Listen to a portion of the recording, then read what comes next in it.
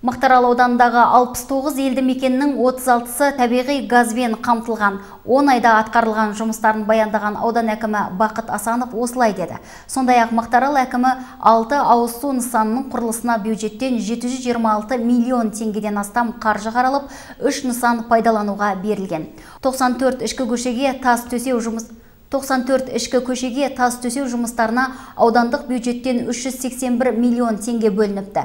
Брифинг барысында аудан әкімі инвестиция тарту мәселесінде қозғады. Екі жобаға 6 оннан 7 миллиард теңге инвестиция шетелден тартылып жатыр екен. Алайда ауданға ақша тарту жобалары тек келер жылы аяқталадымыз. Ал шаруалар бүгінгі таңда 86 оннан 7 мың тонна ақ алтын жинаған. Аудан басшысының айтуынша диқандар мақта жиын терімін әлі де жалғастыруда әзірше орташа өнімділік 25 центнерді құрап отыр. Сонымен қатар 46 оннан 3 мың тонна көкөніс, 304 оннан 1 мың тонна бақша өнімдері жиналып, оның 80 пайызға жуығы шет мемлекеттерге экспортталған.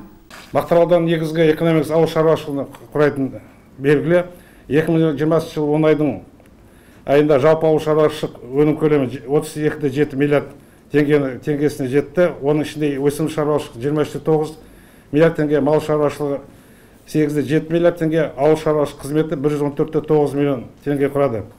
Екінші жылы мақтааралық диқандар алпыс бір мың гектар жерге егістік ексе оның отыз сегізде екі мың гектар мақта дақылы тиесілі.